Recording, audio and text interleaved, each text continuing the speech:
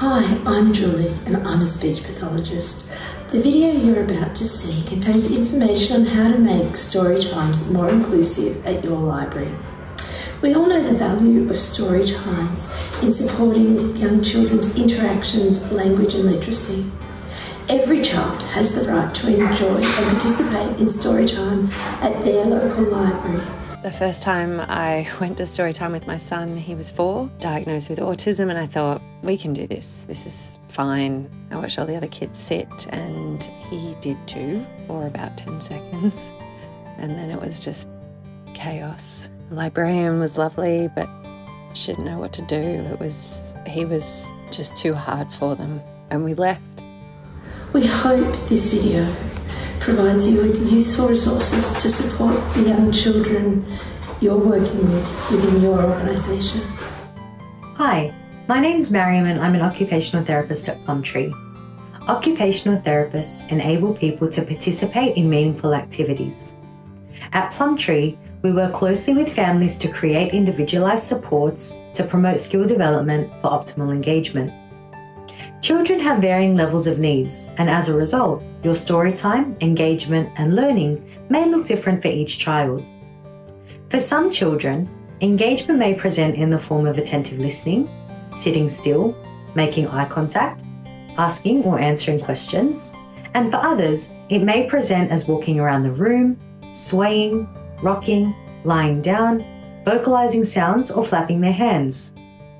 Some ideas to promote inclusion at your story time are chat to the family and get an idea of their child's needs. Provide carpet circles to support children to understand where they may be seated during story time. These can also be textured, such as with sequence material for added tactile sensory experiences, for those who have a preference to keep their hands busy, using visual schedules. This supports predictability of routines and also breaks down activities into smaller task goals. Provide tactile fidget toys for children to hold. This allows children the opportunity to access sensory experiences with minimal distractions. You might also use props, which can help with engagement and attention that are specifically related to the story that you have chosen. Adopting a permissive culture where engagement looks different for everyone, one where vocal sounds are acceptable in the environment for children who may vocalize during participation, or movement for those who find it challenging to remain seated. Hi, my name is Jodie Lawton and I'm a speech pathologist from Plumtree. When I choose a storybook for story time, some things that I think about that help promote uh, inclusion and participation for all children of all different abilities at story time. There's some simple things that uh, make this easier. So, choosing big books can be really useful because obviously they're easier to see, they help grab and keep children's attention. Um, books also that have quite simple pictures that again they're not too busy. It can be easier for children to kind of focus on uh, and you know point things out. Uh, we also like to use, if possible, some props. So you might have some little puppets that go with these that children can touch, feel, hold, take turns.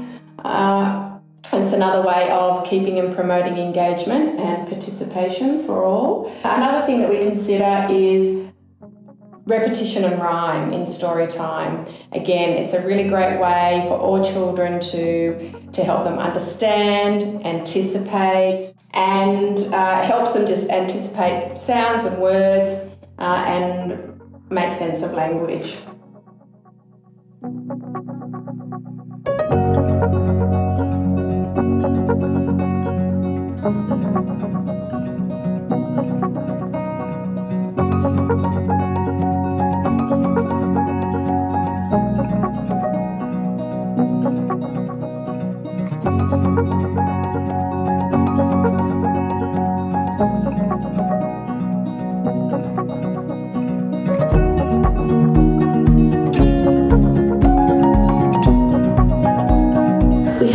find this video useful for your organisation in supporting the learning of young children.